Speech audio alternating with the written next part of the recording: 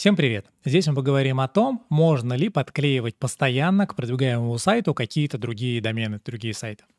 Подписчик канала спрашивает, существует ли лимит на подклейку. Условно, каждый месяц подклеивают два сайта к основному, допустим, итого 14 сайтов подклеенных к основному. Это нормальная ситуация, за такое поисковики не наказывают? Смотрите, поисковые системы стараются определить, а манипулируют сейчас ими или происходит какая-то естественная штука, которую ну, сделали живые пользователи или которая стала следствием активности бизнеса или активности проекта. И если у вас на сайте а, довольно слабая ну, ссылочная масса, то есть на него мало ссылаются естественно, ну или даже не естественно, а просто постепенно наработаны другие типы ссылок – Какие-то там ссылки с форумов, какие-то ссылки с каких-то социальных проектов, сервис вопросов-ответов и так далее, ссылки с каких-то сильных каталогов, ссылки с статей. А вот если эта масса накоплена за какое-то время, ну там за год, например, или за два, то у вас гораздо больше степеней свободы по использованию других инструментов, ну и по акценту на них. То есть, если у вас эта масса накоплена, то вы можете подклеивать и подклеивать и подклеивать, и эти подклейки будут срабатывать.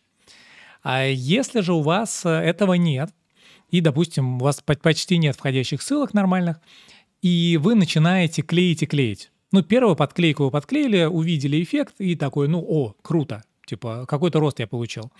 Делаете вторую подклейку, она вроде как тоже сработала. Вы такие, я нашел кнопку бабло. И начинаю клеить и клеить и клеить. И уже на третьей, четвертой подклейке вы можете увидеть эффект, что этот же поисковик, который до этого реагировал хорошо, раз реагировал плохо. Да, это может быть плохая подклейка, то есть это может быть э, домен, который вы клеите, сайт, который вы подклеили к себе, он, ну, он может быть там не совсем подходящий, например.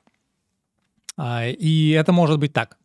Но с высокой вероятностью рано или поздно, а скорее всего вот при около нулевой стартовой ссылочной массе, уже на второй, третьей, четвертой подклейке вы увидите либо отсутствующий рост, а, ну, либо очень слабый рост от этой подклейки.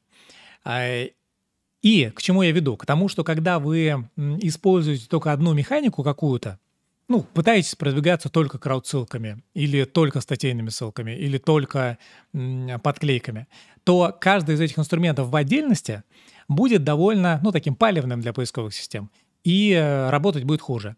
Санкции на данный момент ни в Яндексе, ни в Гугле уже много лет я прям жестких не видел, что прям явно вот сейчас позиции обвалились, потому что там были ссылки. Ну, то есть отрицательное влияние этих ссылок крайне маловероятно. Но нулевое влияние или зануление влияния через время а, очень-очень вероятно.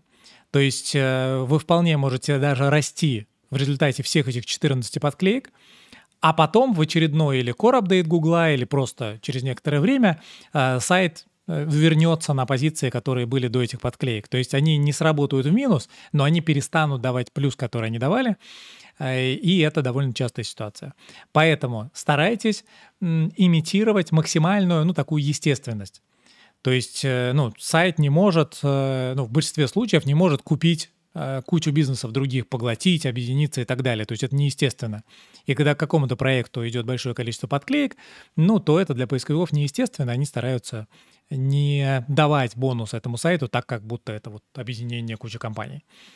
А, поэтому не используйте это вот один только инструмент, а разнообразьте и делайте это постепенно, и вполне себе можно использовать. Но 14 подклеек — это на самом деле даже при комплексной системе, э, когда вы еще других типов у вас много, ну, на самом деле перебор.